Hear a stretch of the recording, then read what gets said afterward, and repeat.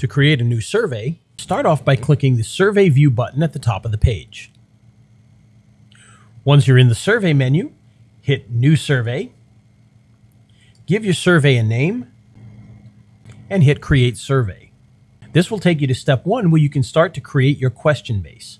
To the far left, you'll see the Survey Wizard menu, which has step one, step two, which is to order your survey, step three, which adds customization, step four, which automates actions, and step five, where you publish and share your survey. To the right of that, you'll see your tools menu, which includes adding multiple choice questions, drop downs, single text boxes, multiple text boxes, comment boxes, ratings, opinion scales, contact information, date and time, text, and images.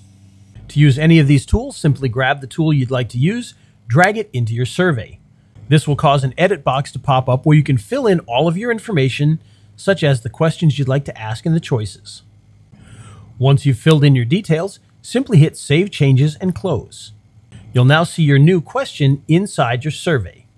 Please refer to our other videos to learn how to use each tool in the toolbox.